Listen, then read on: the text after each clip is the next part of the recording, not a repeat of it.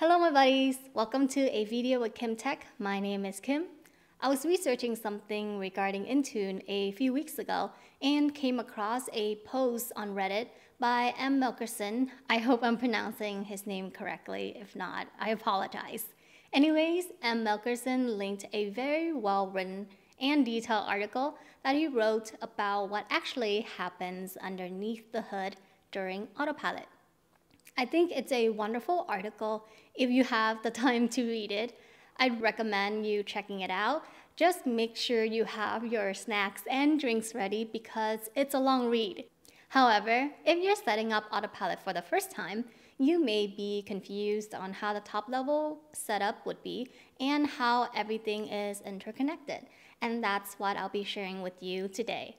We'll focus specifically on Entra joined window computers for this video.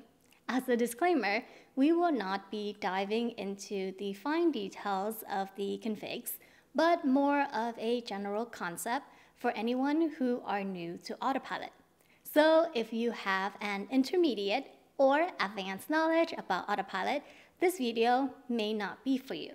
But feel free to drop any info that I may have missed to help our beginner viewers. Thank you in advance. First, let's define what is Windows Autopilot.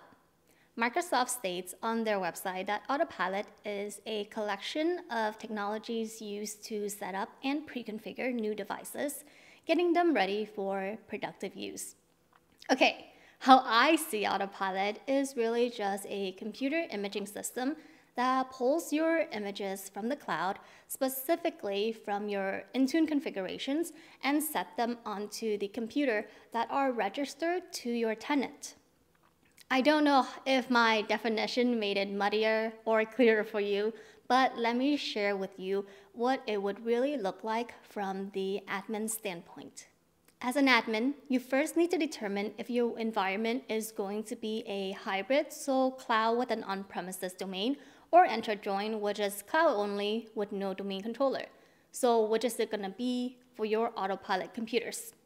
And by the way, if you plan to eventually go fully cloud, then you can have your autopilot devices be on Entra join while the existing computers stayed in their current hybrid situation and slowly change them out when they are due for replacement or migration time. It's worth noting that a hybrid join environment requires more configs. Next, set up the original equipment manufacturer or OEM, pretty much the equipment vendor. So set up the OEM to register autopilot devices on behalf of your organization. Of course, you can manually register the devices to Autopilot if you have at least the Intune administrator Entra role. Subsequently, set up your Windows Autopilot Intune enrollment. In order for Windows Autopilot to work, devices need to be able to enroll in Intune automatically. This can be configured on Microsoft Entra under Mobility. Next, if you're going to allow users to join devices on Entra ID, you will need to enable the settings on Microsoft Entra under Device Settings. Moving on to creating a device group. This is pretty much where you would create a security group to target devices for specific configurations, such as what policies to apply to a device and what applications to install on it. Although you can create an assigned group where the devices are manually added to the group and are static. I would highly recommend creating a dynamic group instead because the devices can be automatically added to the group based on the defined rules. This will help reduce the steps you have to do during autopilot and make the process more automated. Plus, adding a large amount of devices in manually via an assigned group would be impractical. The most common type of dynamic device group when using Windows Autopilot is a device group that contains all Windows Autopilot devices. Such group has the following syntax on the screen here. You can set the rule on the dynamic group to use the group tag identifier to help easily assign the devices. I'll talk about group tag a bit more later in the user assignment of the autopilot device section. However, I want to briefly mention it here that the rule syntax will be something like the following, where corp is my group tag for our corporate office computers. Once you've created the group, whether it's an assigned group or dynamic, just be sure to assign it to the appropriate configuration profiles, compliance policy, app profiles, app deployment, and any other Intune configs that these computers are supposed to be assigned to. After setting up the device group, let's look at setting up the enrollment status page or ESP. The main feature of the enrollment status page is to display progress and current status to the end user while the device is being set up and enrolled via the autopilot process. The other main feature of ESP is to block a user from signing in and using the device until all required policies and applications are installed. Multiple ESP profiles can be created with different settings and assigned appropriately based on different needs and scenarios. The enrollment status page has two phases device ESP or user ESP. Device ESP is the portion of the ESP that runs during the OOB process and applies device policies and installs device applications. User ESP, this portion of the ESP is what sets up the user account, applies user policies, and installs user applications. Next, we would create and assign the pre-provisioned Microsoft Entra Join Autopilot profile. The Autopilot profile specifies how the device is configured during Windows setup and what is shown during the out-of-box experience, or OOBE.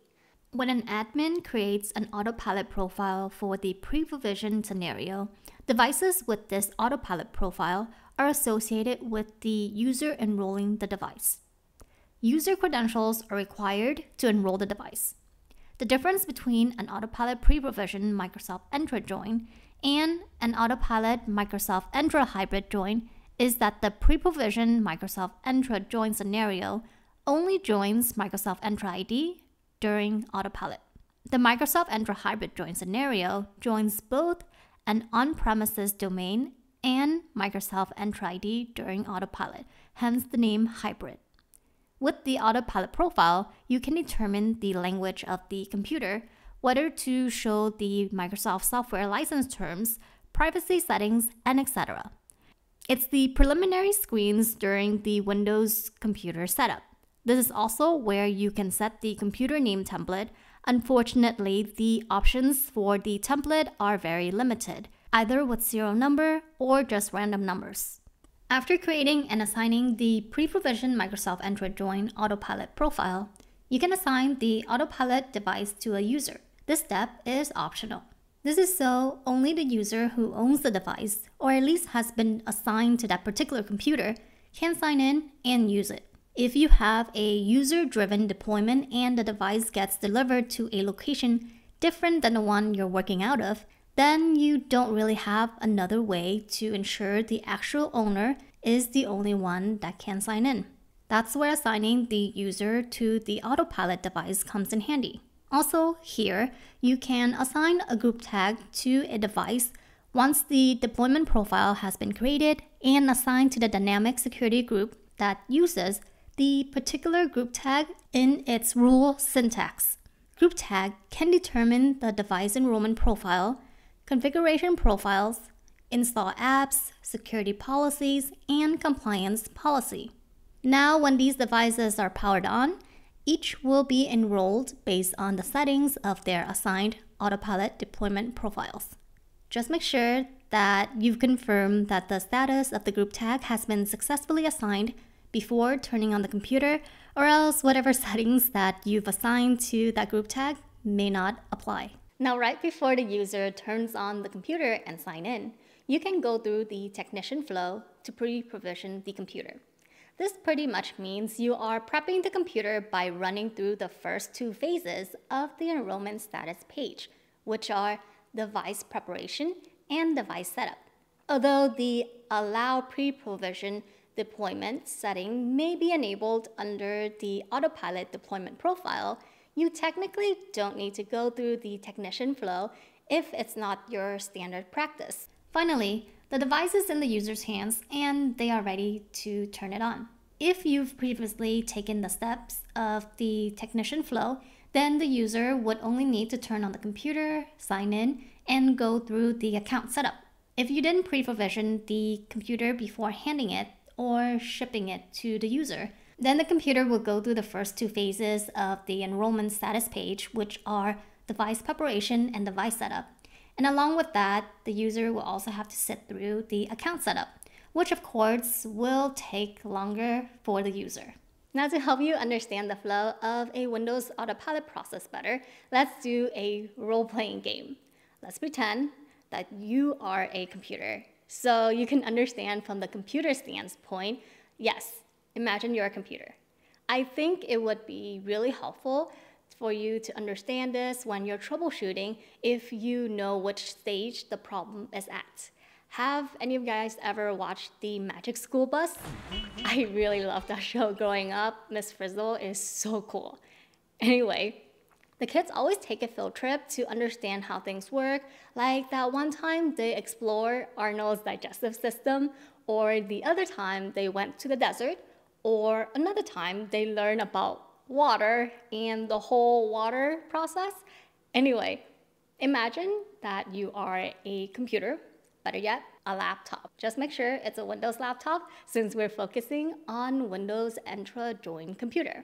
Anyway, imagine you're a Windows laptop that was just purchased by a company with its approved Microsoft vendor or reseller. So first, you, the computer, is registered to Autopilot under the company's tenant to enroll into Intune.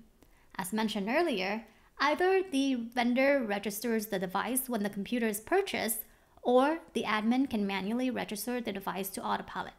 Second, if group tag is part of the standard setup, then the admin would assign it at this time before you, the computer is turned on, or at least before the internet screen. It's worth noting that only one group tag can be applied per device. You cannot have more than one group tag for one computer. Think about it this way. Your group tag tells the computer which device profile it should take, which potentially includes the computer name it should have. So having more than one group tag won't work. After that, if the company has a technician flow procedure, then the technician would run through the device ESP, including device preparation and device setup, which again is optional. During the device preparation, the computer will go through the join process Entra, or Hybrid, and download any configurations that the computer is a part of, whether it's by association of a group tag or because of any policy set for all devices. Now, if you, the computer, has been shipped directly to the end user from the device vendor where the technician flow didn't take place, then the user will need to sit through the join process and device profile configs and policies to run through first before the user profile configs and policy. If the technician flow was completed ahead of time, then that user simply needs to turn it on and sign in during autopilot. And again, you, the computer, will magically load the user's profile, which is ready for them to use, making your user oh so happy. If the user is using Wi Fi and the Wi Fi sucks, well, it won't feel very magical for them and they probably won't be very happy. Anyway, uh, jokes aside, they would just have to wait for you, Mr. or Miss Computer, to check into Intune via an internet connection, which would pull down the user profile, user configs, policies, and or user apps if the technician flow has already been accomplished. That's really it from a computer standpoint. Of course, if you're interested in my consultation on how to help you set this up for your organization, please feel free to contact me and we can discuss further on how I can help. Next, I'm going to share some noteworthy tips with you. Tip 1. If you encounter an app installation error on the OOBE and it doesn't allow you to move forward, then your setup probably has the block device used until all apps and profiles are installed, enabled, or set to yes under the enrollment status page. To fix this, you can either set this to no or fix the apps with the issue. Tip number two even if you have the allow pre-provision deployment setting enabled for a technician flow, it's not mandatory. This means that even if your IT team didn't go through the technician flow, the user will not have any problem turning on the computer and running through the setup themselves. Tip number three If you didn't see your company branding for the user to sign in and need to reset the OOBE process, simply press Shift plus F10 on your keyboard to open up the command prompt, then type in the command that you see here on the screen. This will take you back to the region language screen. Tip number four. Well, this is not really a tip, but more of an FYI of a recent rollout from Microsoft of their new Windows Update experience, which means that the device will automatically be updated to the latest version and security build during OOBE, which also means that the OOBE process now is going to be a bit longer or a lot longer depending on your connection because of the updates. If you want to bypass this for whatever reason, I've included an article below by Mr. Melkersen again on how to make that happen. Tip number five. This last tip is going to sound so obvious, but in case you are new to the whole autopilot process, which is totally cool, but please make sure that the computer has internet connection, either via landline or Wi-Fi, because without internet connection, you would not be able to finish the autopilot process because the computer would not be able to download the image from your Intune configs. Anyway, hope you all find this video helpful. If you do, please click the thumbs up and subscribe. If you have any questions, please feel free to put it down below. Thank you again for watching this video and have yourself a nice day or night wherever you are, my buddies. Until next time, bye!